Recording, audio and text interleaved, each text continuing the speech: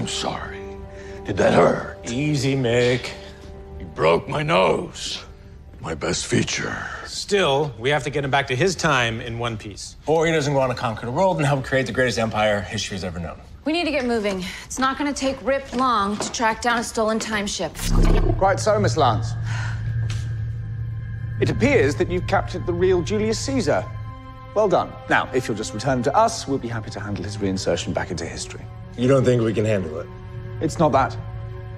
Maybe it is that. But the fact remains that you have hijacked our property. If you return it to us along with our anachronistic guest, all will be forgiven. I trust you'll use your best judgment. Does he not know this team? Shouldn't we entrust Caesar's return to people who do that sort of thing professionally? I thought this was our chance to prove that we were professional ish. Your call, Captain. Gideon, plot a course for the Time Bureau. If your intention is neither boasting nor mercy, to what do I owe the honor of this visit?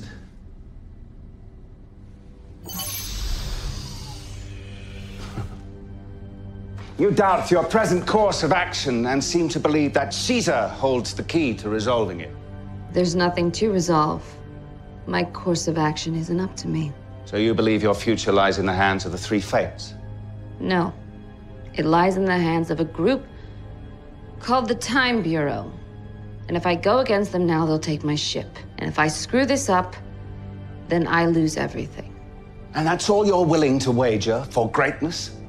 Pompey said he would have my head for going against the Senate. But when I lead my army across the Rubicon, Rome will welcome me as a god. Well, I wish I shared your confidence. It cost me eight years and countless centurions to conquer Gaul. But with an Amazonian queen like you by my side, I could make short work of the rest of the world. Conquering the world does sound nice. But I don't need you to do it. Ship's fixed, Cap. Fixed enough to get us back to the Time Bureau? Mm-hmm. How about ancient Rome? Only one way to find out.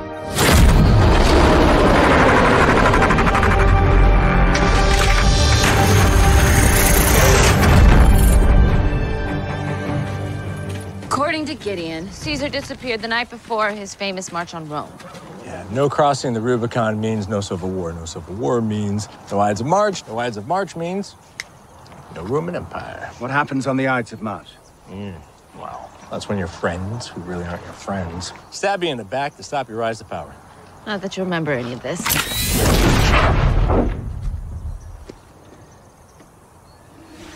Check it out. History is back to normal. And now, a little something for the Heywood scrapbook. Oh, man, that's a keeper. Enjoy conquering the world.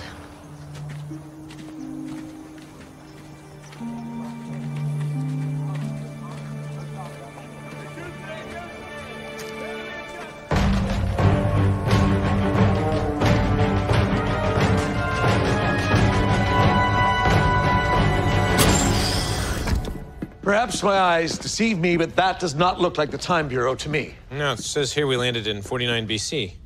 Relax, because we just dropped off JC back where he belongs. So history's been restored, and we can go uh, home. I'm afraid that's not possible. Why? Something wrong with the ship? No, but your home no longer exists. Here is a map of what was formerly known as the United States circa 2017. I thought you said that history had been restored. Does that look restored to you? What does Magna Hesperia mean? It means Caesar went on to conquer the known world and then the unknown world. One of you fools must have entrusted him with future knowledge, something that allowed him to alter the course of history. No, no. I mean, Sara hit him with Rip's flashy, Flashy thing. Oh my god. What? My book.